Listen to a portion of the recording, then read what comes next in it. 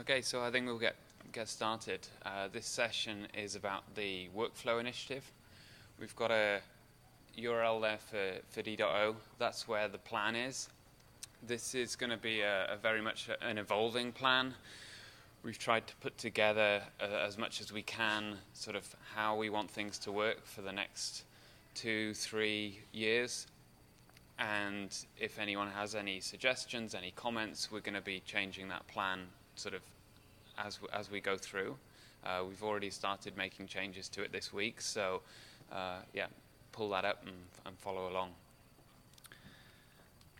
So I'm Tim Millwood. Um, I've been working on this kind of stuff in Contrib for the last kind of nine nine months to a year, um, and, and I'll be dedicating the next kind of two years almost full time working on on this core initiative. And then we've also got uh, Dick. Um, I'm Dixon on, on D.O. Um, I'm the I'm a long-time core and contrib uh, developer. Um, I'm the author of the deploy module for Drupal 7, which is kind of related to, to the topic. So I've been working in this space for, for many, many years. Um, I'm also the uh, creator and co-maintainer together with uh, Tim and, and Andre and Tim with uh, these the same modules in, in Drupal 8 and I'm also the initiative coordinator for for the new uh, workflow initiative that we'll be talking about here. So, really excited. Good to see so many of you here. I'll also give a shout out to Andre. He sat down the front here. Uh, he's working on this core initiative uh, full time with us as well, and been working on the the contrib modules for the last two, three years. So we're going to start off talking about the Contrib modules and what we've been doing there. It's all based on deploy. Uh, as Dick was saying, deploy's been going from Drupal 7 back to Drupal 6, Drupal 5. So we've been working on this stuff for for years, for years and years, and trying to sort of perfect the workflow. And I think with with Drupal 8, we've got a very good workflow. It's all based on CouchDB. So we're not actually using CouchDB, but we're using the same API protocol. This allows us to, to replicate content in a very robust way, a way that's been working very well with CouchDB for a number of years. So we start with multi-version. This is kind of the base module for our contrib stuff. This makes everything revisionable, so every content entity in core and contrib multi-version changes to be revisionable. It also adds a number of underlying storage changes, things like um, deleting entities. It doesn't delete them anymore. It just keeps them and archives them. Uh, we can then purge them later on. Uh, we've got a number of indexes that we store information. So this is very sort of underlying storage stuff. We've then got the replication module. This again is very much sort of underlying stuff. Um, for replication. It allows us to see sort of what's changed between different workspaces. I'll come to workspaces later, but different workspaces, different sites, and we can see sort of what content changes have been made, and this allows us to, to replicate content. So in the workspace module, workspaces you can think of a bit like Git branches, but for your content. So you have a live branch with all your live content, and you'd have a stage branch for all your stage content. You can create as many workspaces as you need, so when you're creating a new sort of content feature, whether this includes nodes, blocks, menu links, taxonomy terms, whatever, they all go into a workspace.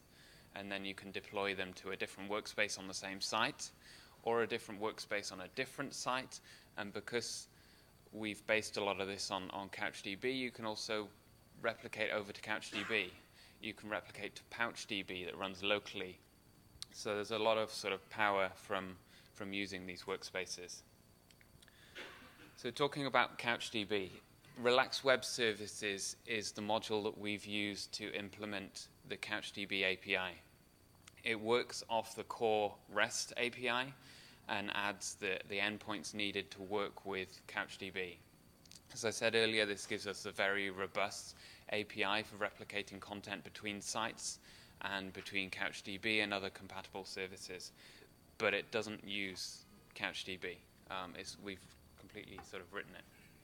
And, and as Tim mentioned, just want to emphasize that uh, you don't necessarily need this module if you just do staging and previewing on a single site. This, this module comes into play when you have separate sites for your stage and production or just want to replicate between different sites over HTTP. Just a note. Right. So then finally we've got deploy. Deploy is kind of the overarching thing for all of this. Um, as I said, it's a very old module, so we sort of worked up from, from the previous modules. And it gives a UI for deployment. And whether you're using relaxed module for cross-site replication or just the workspace module for single-site replication, deploy will give you a UI to, to deploy between things. And uh, after the session, if we've got time, we can go through a couple of demos just to sort of see visually how, how the UI works and how deploy does this. And uh, uh, just one, one note. Um, as we go through this plan, issue by issue, uh, this is a core conversation. So please interrupt at any point if you have any questions. We don't necessarily need to take all the questions at the end. Uh, we want to keep the conversation going. Uh, it's going to be lots of details, issues, and, and technical details. So please, you know, step in, raise your hand, step up to the mic, and, uh, and we'll keep the conversation going. Okay, so let's uh, get on to the, the actual initiative. As I said earlier, we've got the plan um, that you can take a look at and try and follow through, and yeah, do step up if you've got any questions. Each of these slides will sort of loosely relate to a, an issue or a sort of a, a step within the plan. The first one here is enabling revisions by default. This is a, an issue that I opened last year in, in DrupalCon LA, and we're basically looking for that checkbox, create a new revision on nodes and blocks to always be checked. And when you create a new content type, it should always be checked. So we get into this idea that revisions are always created and sort of by default we should have revisions. So that issue there is currently in uh, needs review status. So if anyone wants to start taking a look at the sprints tomorrow or over the weekend, um, please review that. Maybe one day. Re repeat the question. yeah. Uh, so the question was, are we going to remove the the checkbox from the UI? In this patch, it doesn't remove the checkbox, um, but yeah, maybe one day we can. Uh, with the contrib work, so with multi-version, we do enforce uh, revisions. So we keep the checkbox, but you can't uncheck it. Um, so in contrib, if you are using multi-version, everything's revisionable, and you have no choice; it's revisionable um, because we believe that's the way it should work. Uh, but in, in the implementation details, for the rest of the initiative, we can we can discuss that. Uh, and a little bit more reasoning behind that. So, um, if you do the same thing with code, if you have a workflow, if you move around, stage your code, it's not like you can turn off revisions on Git. It needs to be there for fundamental reasons to to be able to move things around, to be able to merge things and solve conflicts. We sort of deal exactly in the same problem space here, really, with content, uh, moving content around, merging between stage and production uh, and needs to solve conflicts. So that's why revisions is, like this core concept that needs to be there. Um, but yeah. So the next issue is done. This was committed to core um, a couple of weeks ago. So this is um, having base field definitions that inherit from their parents. All content entities extend the content entity base class and in there you have base field definitions for things like the ID field, the UUID, uh, the revision ID, uh, the bundle, all these kind of fields are, are, in content entity base. But so many of the core entities weren't inheriting those. They were resetting those base field de definitions. So this uh, core patch that's now in, it will uh, go into 8.2. Uh, we inherit. And this allows us potentially in the future to just kind of turn on revisions for any entity type and it will get that revision ID field from the parent. The next one that's also been done is the node interface is now implementing the revision log interface. So in 8.1, we added a revision log interface. Um, so you may know that on a node, you can add a revision log message. On block content, you can add a revision log message. And this interface uh, adds a number of methods uh, for that uh, revision log.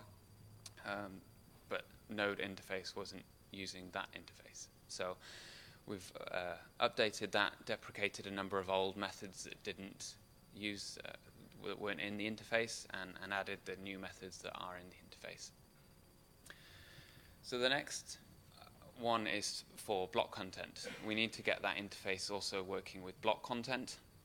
The issue is that we don't yet have a revision user and a revision created field on block content like we do on nodes. Um, so this patch that's in needs review, again, if you're doing sprints this weekend, please review. Um, it adds those two fields, the, the, revision user and the revision created, and then it changes the, uh, the block content interface to implement the revision log interface, um, doing the same as nodes, just to keep them all consistent and all working the same. So once we've got all that in, we're going to want a way to migrate entities between entity type schemas. So this is a very complex uh, problem, and it's probably the most complex issue that we've got for our phase one.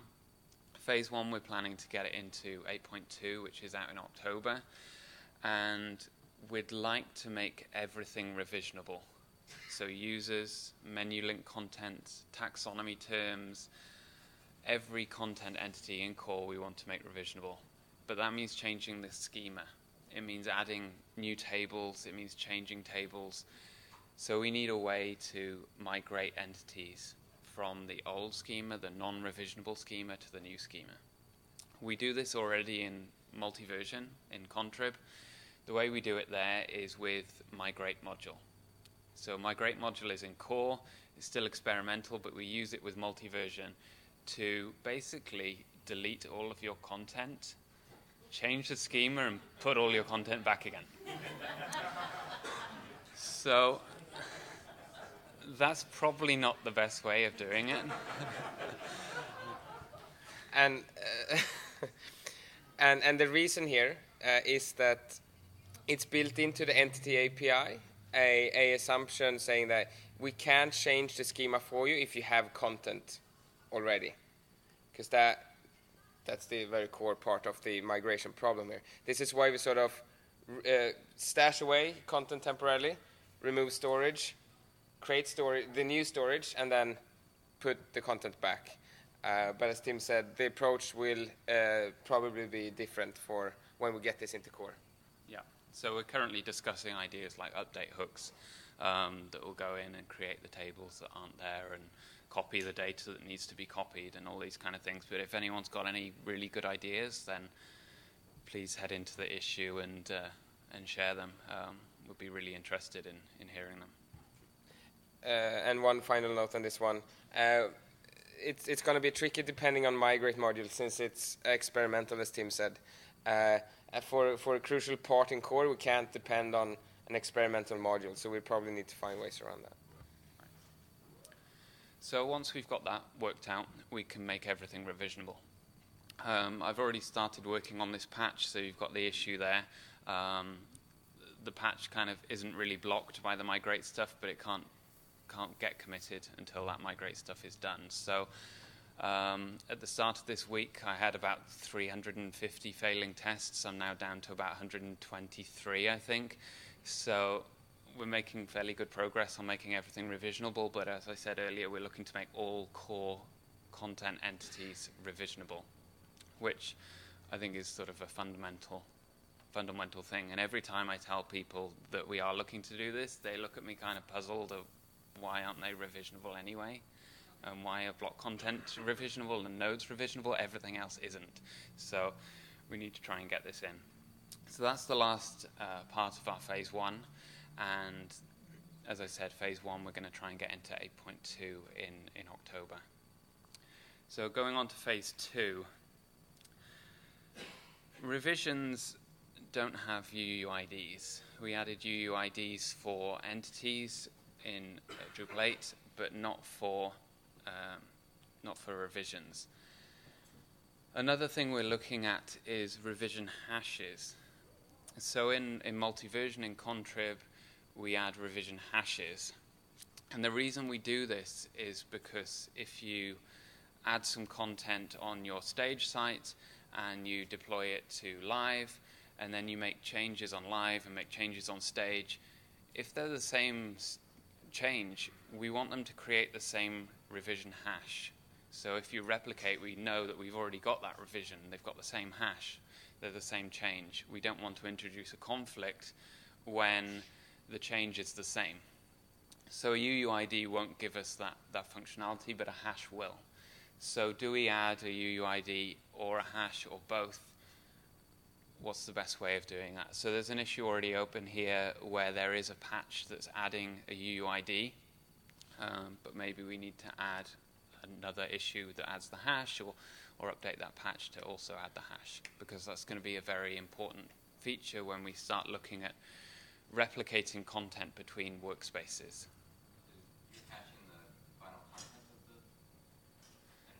Yeah, so uh, so the question is, are we hashing the the the, uh, the entity? And we are hashing the entity. It's not the final rendered entity. Um, and we are excluding a number of fields as well, uh, things like timestamp, because obviously if you make a change on different sites, then they're going to have a different timestamp. And uh, what's uh, practically happening is that we're running it through the serializer. Uh, so it's serialized to a JSON string, and that's what we hash.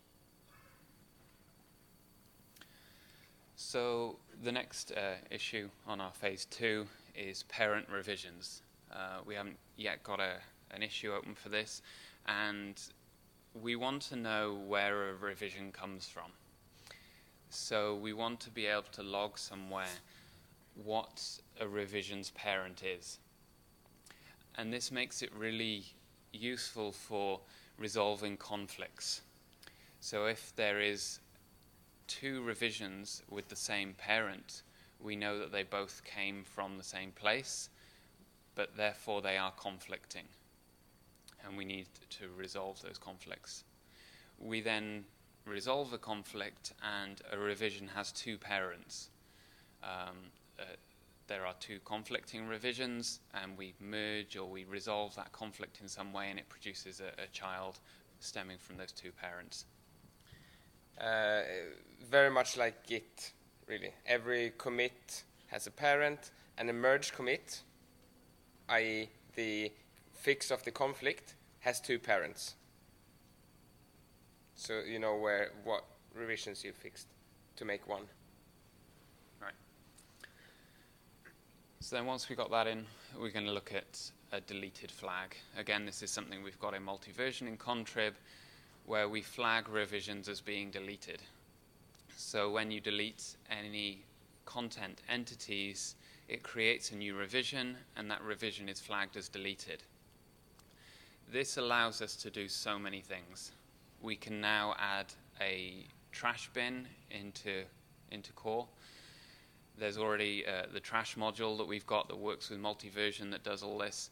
So you can restore content after it's been deleted. And this also allows us to do replication of deleted content. So if you delete something on stage and you replicate up to live, then it also deletes on live. If we sort of properly deleted it, if we purged the content, then we'd replicate up to live, and live would not really have any idea sort of what the content is, um, so it wouldn't get deleted. And more importantly, if we did a pull before a push like you would in Git, it would actually pull down the the content that you deleted from live, so that content would sort of reappear. Um, so we really need to flag things as deleted. Another key aspect here is also you won't be able to solve a conflict involving a delete if there's nothing to compare with.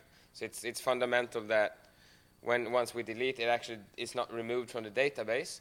We can present these two new changes if they are conflicting. One might have done a change and one wants to delete the content. Then we can resolve that conflict. So it's a very important aspect. Yeah. So Now, with this deleted flag, you can't delete things because things are just flagged as deleted, they're not actually deleted. So what we need to do is purge revisions. Um, so currently with the trash module, um, you can purge things, and this just runs sort of the old um, proper sort of core delete, and it actually gets rid of and purges, uh, purges revisions. Um, as we said, there's a number of reasons why you shouldn't purge things, but if there are sort of legal reasons of getting rid of content, then we need to have a way in core to sort of actually get rid of content. And, and uh, so, as you can see on the slides, this is phase three, and this is something that we're targeting or aiming to get into 8.3, Yeah. Drupal 8.3, which is uh, Yeah, sometime next year. This time next year, yeah. So once we've got these in, we can look at adding the trash module into core. So you'll be able to, from the UI, restore and purge any uh, content. So this is something that WordPress has had for years. It's something that sort of your desktop OS has had since 1984. So there's a number of reasons why we should get this into core, and it's well overdue. And and and this would be the first point in the initiative where we actually add uh, some significant user interface changes as well, or additions, I should say, um, introducing this UI that Tim just talked about. Uh, it's uh, notated as phase four, and as you can see in the plan, it's still uh, targeting 8.3. Um, we split up the phases so that they don't depend on each other. Um, and and it, that's just a target. It's still up for discussion and and so on. And yeah. Great. So the next phase, phase five, we're going to start looking at moderation. So almost every site needs some kind of moderation, and we've been working a lot with the uh, Workbench moderation team. So you can kind of see this as an effort to get Workbench moderation into core, but again, this is still up for discussion. Um, and the way we've been working in, in Contrib with Workbench moderation is you can moderate entities and you can moderate workspaces. So you can moderate an individual node, for example, or you can moderate a whole workspace, which is um, nodes, blocks, menu links, everything together, and deploy that as sort of published. So this phase, we're just looking at the underlying API that's going to make all of that possible. So a lot of this at this stage will still live in Contrib, but we'll have this core API for for doing moderation. Um, and this is a, a, step that a lot of people seem to get uh, really excited about and really keen to, to get into core. And um, uh, we'll talk about uh, more APIs here down the line, but I think this is gonna, for, for many people, uh, for many site owners, this itself, once we add a simple UI on top of this, is gonna cover a big, big uh, use case that many have. Simply just uh, moderating individual entities, as simple as that. You know, everyone won't need a full workspace and moderate a whole workspace but the but the um, uh, phases and the APIs are set up set up in a way, as Tim said, that we can do both. Uh, so it'll be a very flexible and powerful system where we uh, can moderate both individual entities as well as whole workspaces. So once we've got that in, we're going to start looking at trying to get workspaces into core. So this is um, an initial API for, for workspaces. And I mentioned earlier we've got the workspace module. That doesn't actually add workspaces. That's added further down the line in, in multi-version. So this is kind of what we're looking at doing here. We're going to add multi-versions workspace API into core at this phase, which adds the workspace as a content entity, and then all content belongs to a workspace. From the UI, that will be completely invisible you will have one default sort of live workspace. All your content will belong to there. Um, and that's sort of how it will initially work. That's how it works with multi-version at the moment until you add the workspace module that gives you that UI to create and switch workspaces. So uh, the behavior of core would not change at, at this point. This is just API additions, and as Tim said, it's just one default workspace no behavior changes. Right. So we've got a number of indexes, also a multi-version module, and this allows us to do to do so much stuff. But a UUI, uh, a UUID index is probably the first place that we're going to look at for the, the core work. And we've already started a, an issue on that and just started looking at how this is going to work. In multi-version, we use a key value store, and we store all UUIDs, and then against that we store the the entity type, the entity ID, the revision ID, and sort of a load of other information about that UUID, so that given a UUID, you know what it is. Because at the moment we have unique identifiers, UUIDs for content, but given that unique identifier, you have no idea what it identifies. You don't know if it's a node or a block or a menu link. You know nothing about it. So this index will give us a place to look up and find out what these things are. And this becomes important when we start to look at uh, replicating content because we're going to have to use UIDs for everything because local IDs are going to be different on different workspaces, on different sites. We have to use UUIDs for everything. So once we've got a, an index for entity UUIDs, we can add an index for revision UUIDs or revision hashes or both, whatever we go down the road of, of looking at for them. And they're going to do exactly the same as the entity UUID indexes, but just for revision UUIDs. So given a revision UUID, you'll know exactly what entity type it is, what entity it is, and what uh, revision th that points to. So we've then got another index. This is a sequence index. And this is a, a real big index of everything that's going on in your site. Again, it's something we do in multi-version, and it's a key value store which is ordered by the sequence ID, and we know everything that you do on the site. Whether you add, update, delete content, we know what entity type it is, we know what entity ID it is, we know what revision ID it is, and they're all ordered so that when we do the replication, we can play it back, just like when you do a sort of a rebase with Git, you play back every commit. You could almost compare it to um, a MySQL binary log or uh, a Git commit log, almost. A way of replaying changes.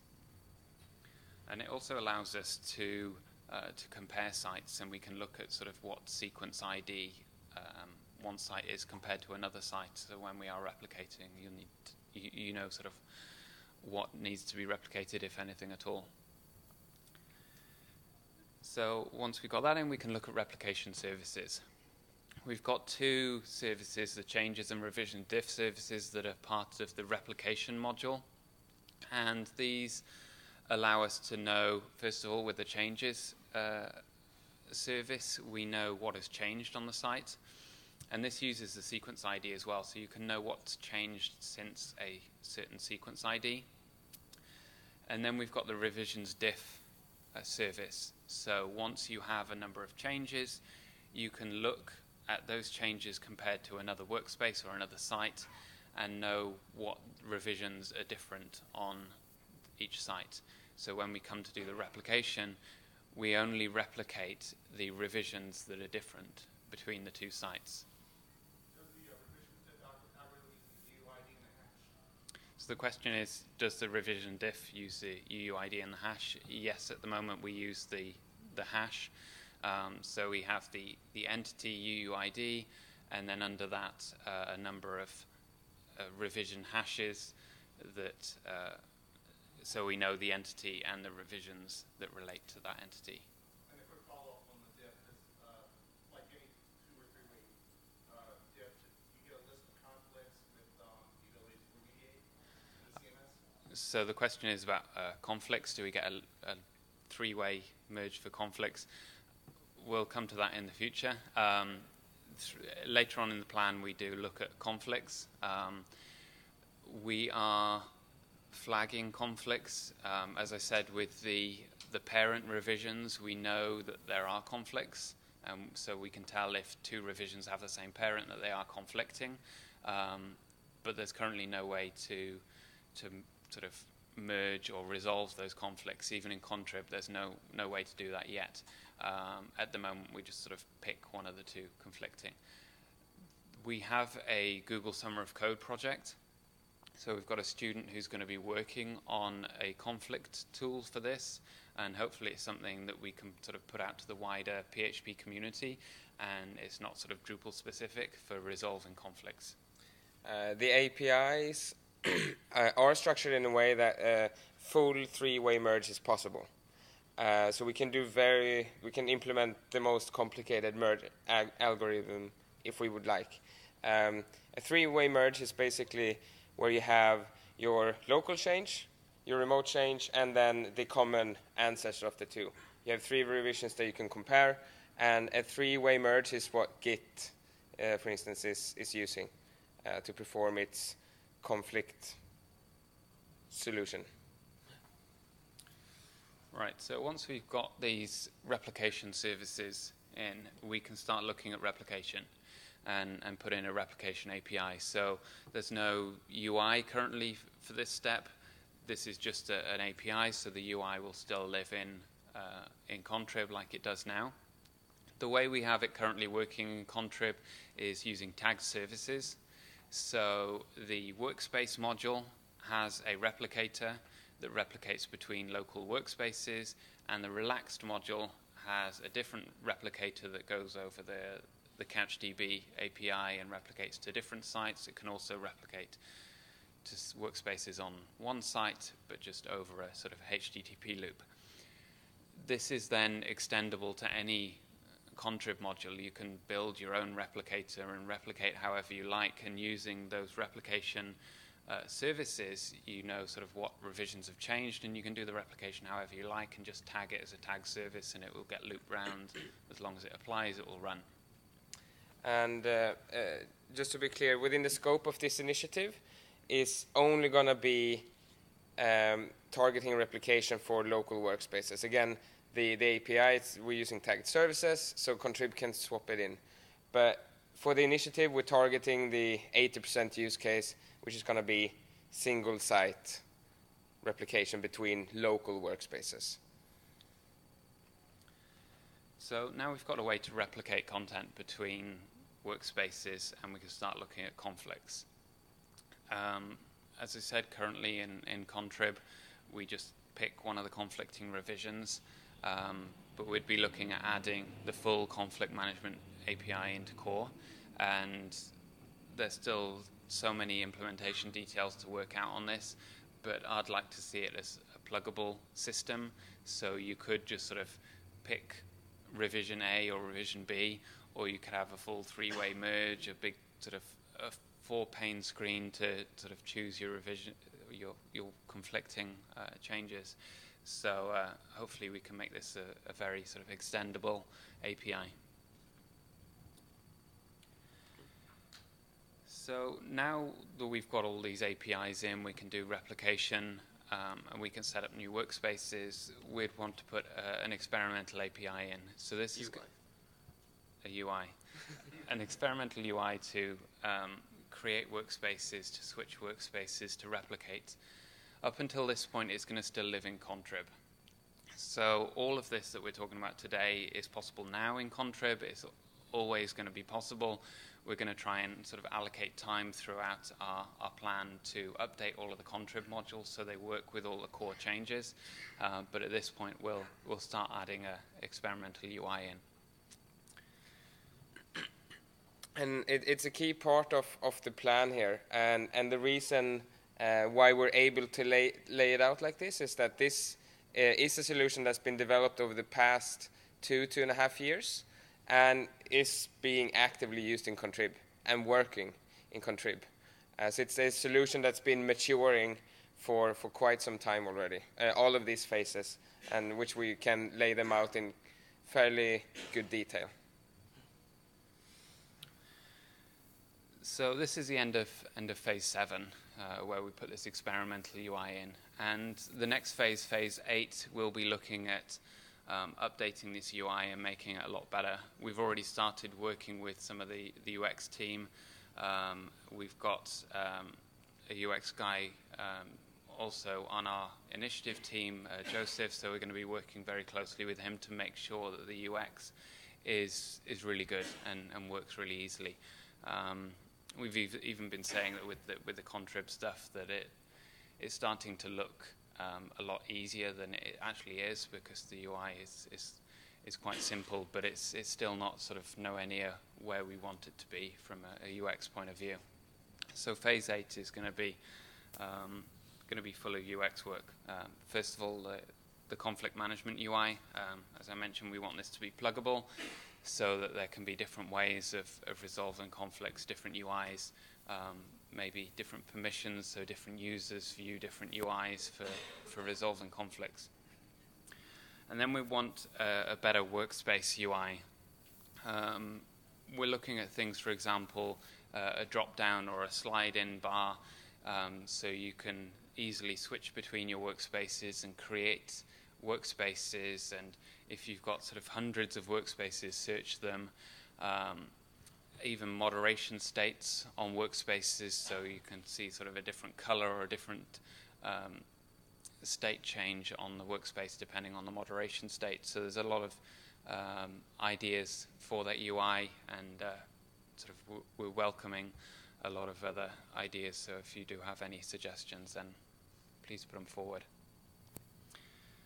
Um, we'd be looking at a revision moderation module. So as I mentioned earlier on, um, we're looking at adding a moderation API into core. Um, so this moderation module would use that API and provide the, the UI for all of this, this moderation. And a lot of this, uh, discussions and conversations that we've already had throughout this DrupalCon is that we're probably going to put uh, the UI for the moderation earlier on in, in the phases. Because uh, this is, again, sort of the 80% use case. Just moderating a single entity um, is, is a very common use case. So we're looking perhaps to move this to earlier phases because it doesn't depend on, yay! Because uh, it doesn't depend on everything that we've mentioned before, so it's possible to move this earlier. Um, phase 8 currently, that's I think Drupal 8.5, 4? 4, I think. 4, which is still some, some time away, right? Can we get that earlier? I think that'll satisfy a lot of people. So if we do move this, well, when we do move this earlier, um, this will just be the moderation of single entities, the moderation of workspaces. Obviously, it's going to have to wait till we have workspaces, um, so this will probably still be later on. Um, and this will allow you to moderate sort of a collection of, of entities as one. We'd also be looking at adding a, a cross-site content staging. Um, this is not in our sort of main plan. We've put this as sort of phase X, um, a sort of nice to have phase. Um, this is currently working in Contrib, as we said. It will always live in Contrib, but if we do have time at the end, if we have a lot of sort of consensus that this might be something nice to get in, then we can look at this cross-site content staging. Um, so this is what we've been talking about using the CouchDB API. Um, there's also a lot of discussion about um, REST APIs in core and sort of how they're going to look and how they're going to evolve. Um, so this sort of might be conflicting with those. Um, it might work well with those. There's still lots of discussion discussion to go on this. Um, so that's why it's in phase X. Another feature that's in our nice to have is autosave. This is something that a lot of people have wanted for a long time, and there's been so many issues and so many patches open for this already, but it's such a complex problem to solve. One thing that we've sort of been thinking about is whether it could use the uh, the REST API and that things autosave to your local storage on your machine, and then the content is replicated from your local machine up onto the, the site at the end. Um, but the, you know, there's so many ideas, so many discussions already. And the idea there with uh, auto saving to your local storage is that if you would be working away on your site, on your laptop, and you would lose an internet connection, it would still keep auto saving. And then once you get your internet connection back, we can replicate that from local storage back to the server uh, using the tools that we already touched on this uh, REST API and something called PouchDB. Still, a lot of the discussions and ideas happening here, um, and it's sort of in the nice to have. So it's not a scheduled phase at the moment in the initiative, uh, but we're happy to you know hear everyone's feedback on that. Great. So that comes to the end of all of our plan, and um, we'd sort of welcome any any questions, any ideas, or any discussion. Um, yeah, go ahead. Uh, p- please step up to the mic, and and if if more of you have questions, uh, line up. Uh, this is a core conversation, so we'd love to have the conversation going. Just a quick question about how this, if at all, would how you're considering the theming system in all this in terms of moving blocks around and new regions. Uh, Is that something at all that you've considered in terms of tracking those at the revision level? It's not in scope for this um, this yet. Um, as, as Dries mentioned on, on Tuesday, there are sort of other initiatives that are being sort of talked about that, that might include something like that. And one thing to sort of stress with this is we're looking at content entities only. So block content is a content entity, but the block itself is a config entity. Um, so that's something that you'd um, export out to a, a YAML file and add into your Git workflow. Um, so there are, a lot of sort of um, workflow changes on this because you've got to make sure that all of your config is config is on the live site before your content is. So um, yeah, there's going to be a lot of changes. And and just a further clarification there, uh, we're not looking um, at all at making it possible to have different content for diff- uh, different config for different workspaces on a single site. Config will remain the same across all workspaces. It's only content that we sort of compartment. Compa- co- uh, what's, what's it? Compartmentalize. There you go. Thank you. Um, uh, so no config here. So you can't like place a block in a workspace that wouldn't exist in another, uh, a block position. Yeah. I get. I have two questions. So one question: the big problem that I've run into with revisions in the past is the way it can bloat the database. And obviously, if we make everything revisions, I mean, we've had situations where people have a thousand revisions of a single node. Uh, have you thought about that? What you know? What would what What's the solution for that?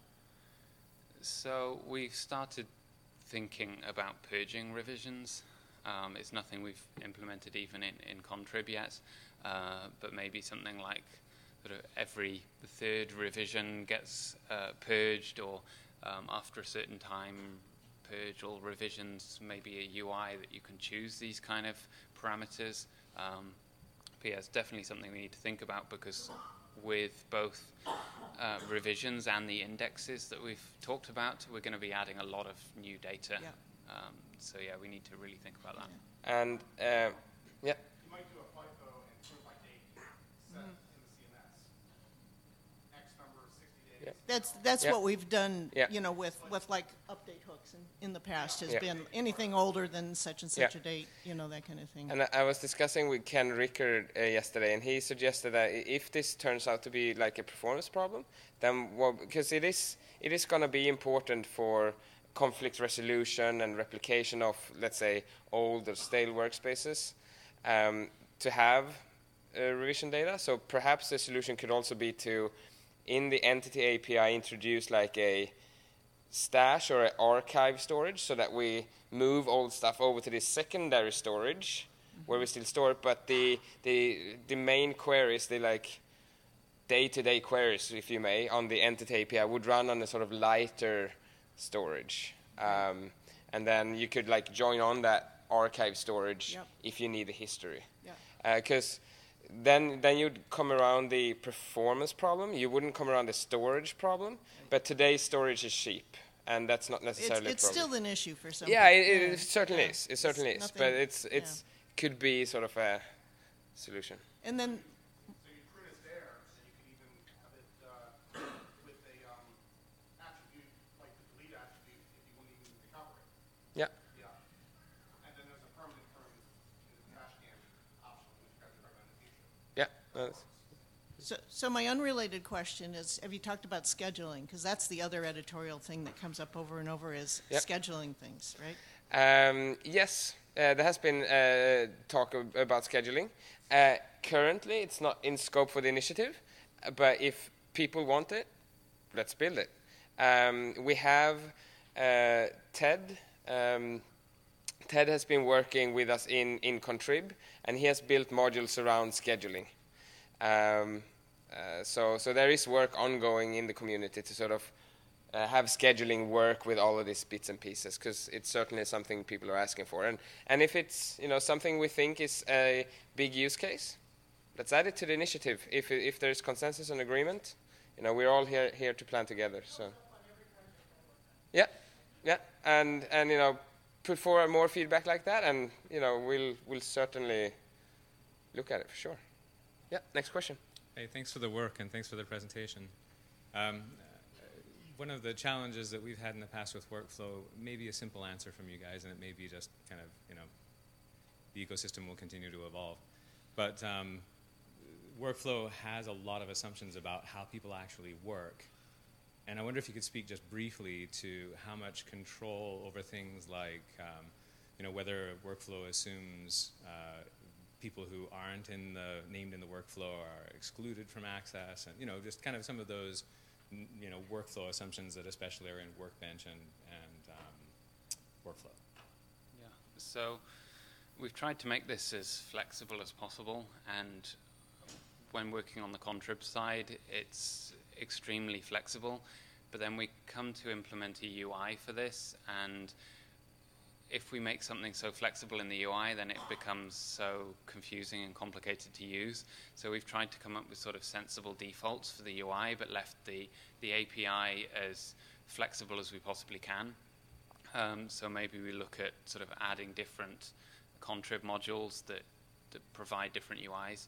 Um, as you saw from earlier on in the in the presentation, we've got quite a lot of contrib modules that make up this, and a number of those are optional, just because there's different workflows and you need different modules for different things. When we've sort of about a year ago, we probably had maybe two or three modules that made this up, and now we're up to like five or six. So that's just to, to add this flexibility. So um, yeah, it's definitely something that we are keeping in mind.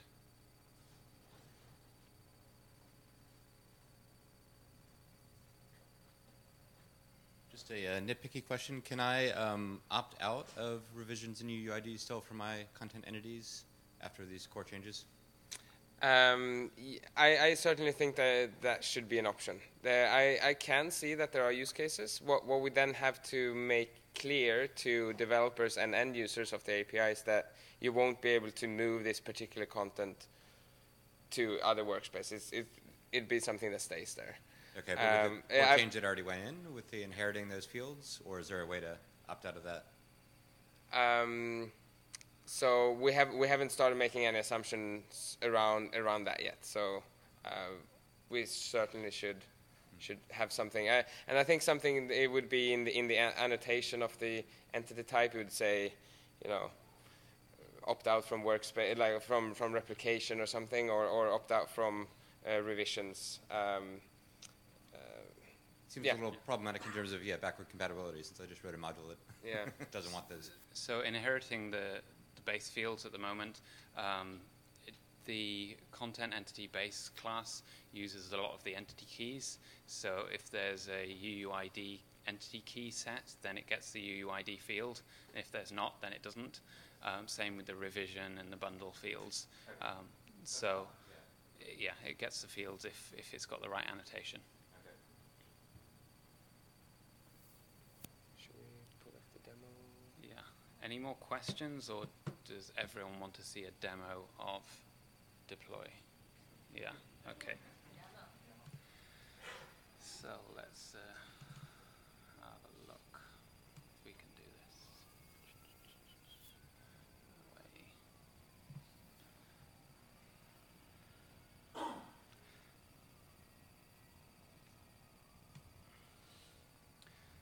So here we're looking at um, a single site content staging. Pause for a moment. And yeah, uh, you're probably going to talk about it. Go ahead. Yeah. So you'll see up in the top toolbar, we've added a number of new things that you don't get in in Core. And just to kind of note first that this is all contrib stuff. So this is stuff that's available now. You can use this today on your sites. So up in the top toolbar, you've got uh, where it says stage on the top right there. This is then a drop down that gives you a switcher for workspaces. So you can see we've got a live and a stage workspace, and down the other side, you can add a new workspace. Then next, we've got the update button that allows you to update your current workspace. This is a bit like a, a git pull or a git rebase to pull down any changes. And you've got deploy, which is to push your changes. So let's get playing this, where we're going to add uh, an article. And so this is just kind of a standard node. Um, we're going to add a title, we're going to add a body, and then we're also going to add um, some other entity reference type data. So we're adding a menu link. So a menu link is actually a separate content entity, but it's just attached to this node using an entity reference. And we've added three tags there as well, which are also entity references to separate taxonomy term entities. So we can now switch over to live and back to stage and see that there was no content on live. There is content on stage. We could create a deployment, so we give each deployment a title um, so you can look back at a, a, log of your deployments and now switching between live and staged. The content is there, the menu link is there, all the taxonomy terms are there, so they all stay connected um, and they all get transferred over as one. We're now making an edit on the live site. So we're editing the node title and also the menu link. So when we save that, you'll see that the menu link has changed and the, the title have changed again. They're two separate entities. And back on stage, they haven't changed, but you can do an update and that'll pull things down from live to stage. So that's how it currently works in, in Contrib, and this is kind of ideas that we're looking at when moving to core as well. Do you want to step up to the mic? Sure. Cheers.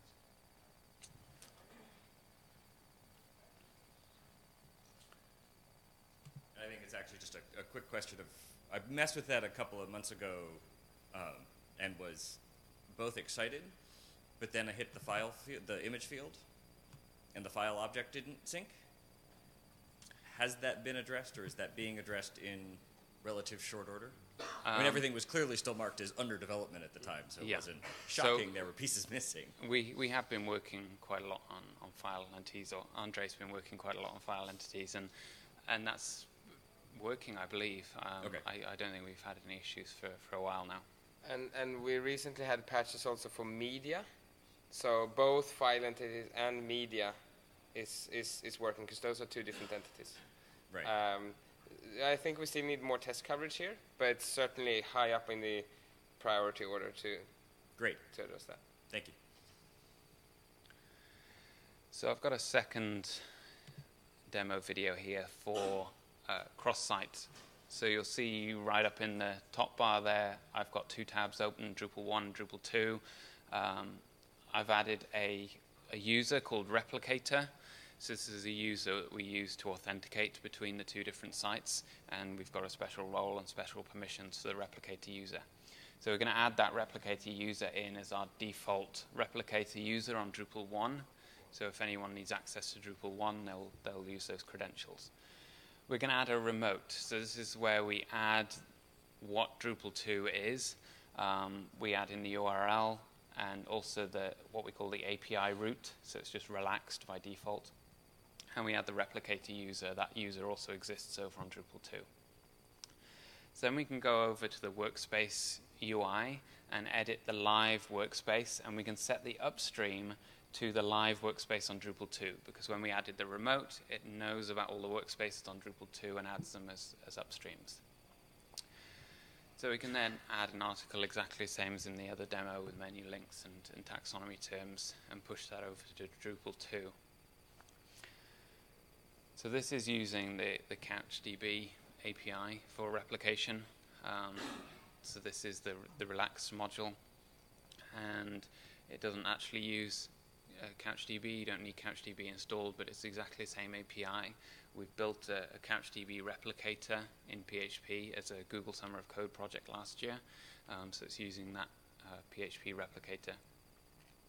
So exactly the same UI from deploy, um, give it a title, push it over. It takes a little bit longer because it's running over um, HTTP um, to a separate site. Um, but we can now go over to Drupal 2 and we'll see that the, the content's there. And just the same as the first demo, we can make changes on, on Drupal 2, which is our, our live site, and uh, push them back to, to Drupal 1.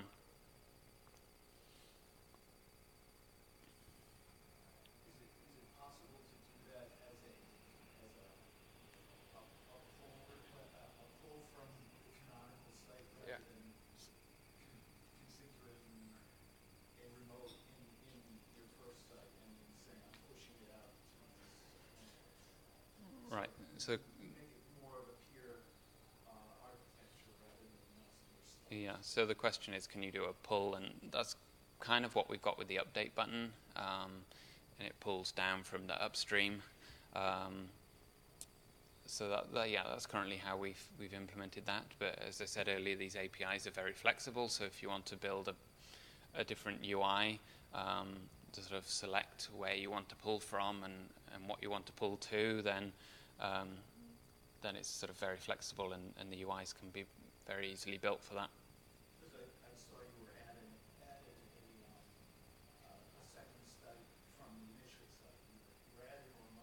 Right.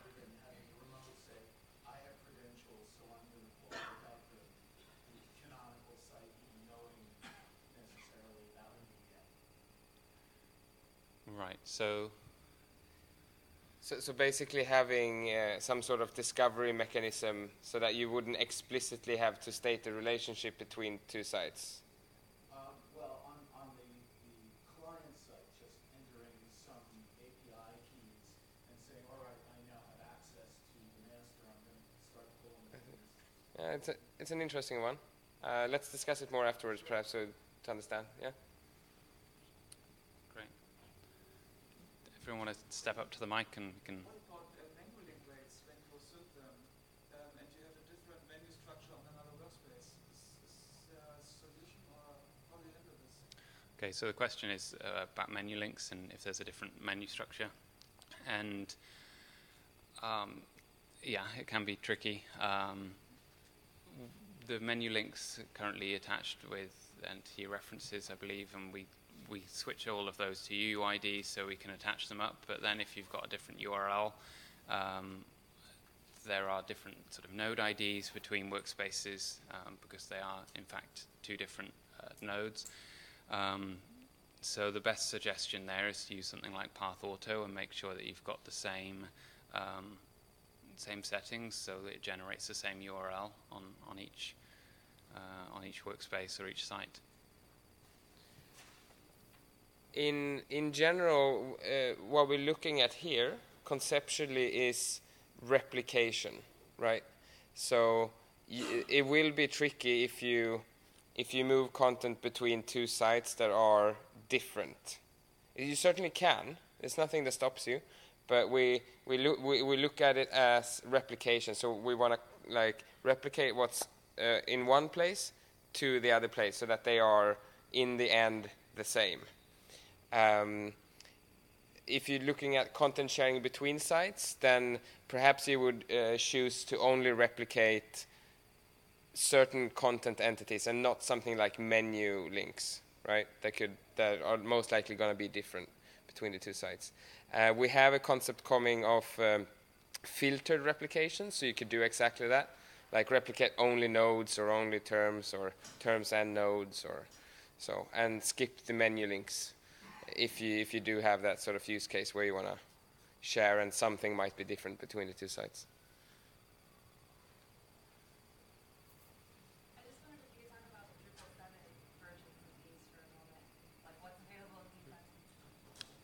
Um, so deploy module exists for D7.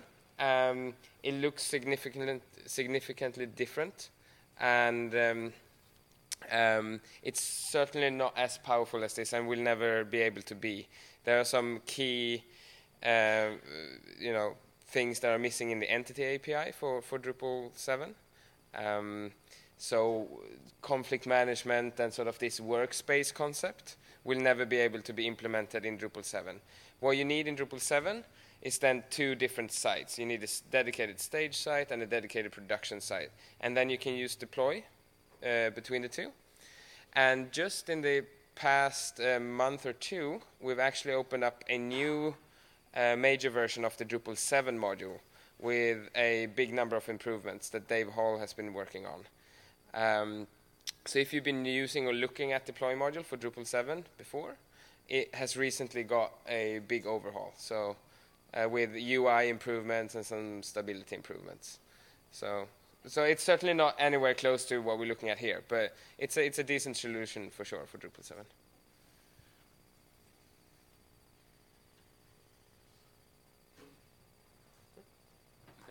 I think that's it. Thanks.